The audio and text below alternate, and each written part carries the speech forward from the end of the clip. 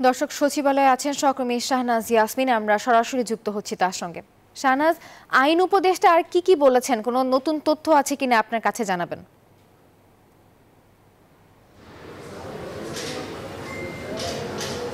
নাফিস, আপনাকে ধন্যবাদ জানাচ্ছি। আমরা জানি যত গত আট আগস্ট রাতে বঙ্গভবনে রাষ্ট্রপতির কাছে শপথ দিয়েছেন অন্তর্বর্তীকালীন সরকারের প্রধান উপদেষ্টা সহ সতেরো সদস্য।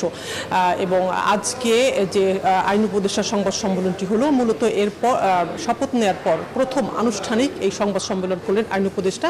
যদিও শপথ নেওয়ার দুদিন পরে শনিবারে উনি এসে সাংবাদিকদের মুখোমুখি হয়েছিলেন সচিবালয়। সেটা আনুষ্ঠানিক ছিল না, অনানুষ্ঠানিক ছিল। সাংবাদিকরা তাদেরকে তার কথা বলতে অনুরোধ করার কারণে সে করেছিল। আজকে গতকালকে আনুষ্ঠানিকভাবে জানানো হয়েছিল। আজকে তিনি সংবাদ সম্মেলন করবেন। বিষয়টি তিনি জানিয়েছেন যে, পহেলা জুলাই থেকে পাঁচ আগস্ট পর্যন্ত যত হয়রানি, মিথ্যা মামলা হয়েছে, সেগুলোর তালিকা দেবা তাদেরকে কীভাবে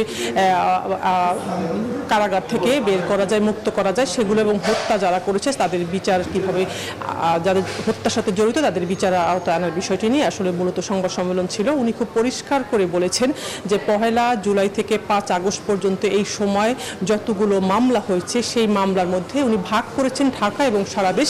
ঢাকার যে মামলাগুলো আছে, সেগুলো কালকে বৃহস্পতিবার, সেই বৃহস্পতিবারের ভিতরে সবগুলো মামলা উৎস করবে এবং আগামী আগামী একত্রিশ আগস্টের মধ্যে সারা দেশের যে মামলাগুলো হয়েছে, এই গণহত্যা, জুলাইয়ের গণহত্যা যেটা উল্লেখ করেছেন, উনি খুব স্পষ্ট করে সেই গণহত্যা মামলাগুলো সারা দেশেরটা একত্রিশ আগস্টের ভিতরে উজ্জ্ব করা হবে।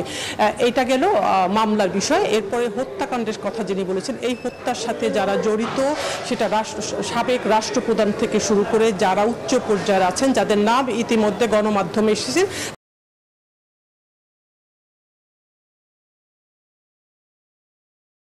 তাদেরকে আন্তর্জাতিক অপরাধ ট্রাইব্যুনালের মাধ্যমে বিচারের আওতায় আনা হবে এবং এবং বলেছে প্রমাণ সাপেক্ষে সেগুলো নিশ্চয়ই তদন্ত হবে। সেই প্রমাণ সাপেক্ষে তাদের বিচার হবে আন্তর্জাতিক অপরাধ ট্রাইব্যুনালে এবং সেক্ষেত্রে জাতিসংঘের একটা ভূমিকা তিনি কথা বলেছেন। জাতিসংঘের সহযোগিতা উনি চাইবেন।